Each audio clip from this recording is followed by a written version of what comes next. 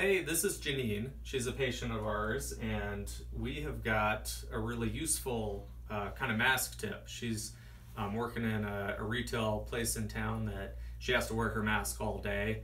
Um, she's having a hard time just keeping it on with her ears, her glasses, her hearing aids, everything else.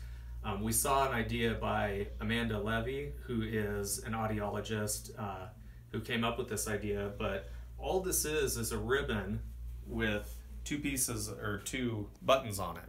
And the idea is is that we're going to loop the ear loop of the mask on the button rather than behind the ear.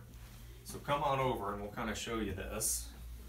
So I'm going to do the first button there. And Janine will put on her mask and then we're going to do the second button.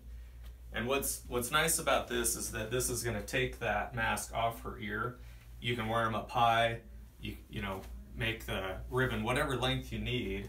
Um, but this is just a nice, easy way to get get some relief for your ears. And like here, you can see it's actually sitting well behind her ear. So this leaves some room for her hearing aid, which is sitting back there too. The mask is actually helping to hold on the hearing aid now, which is great.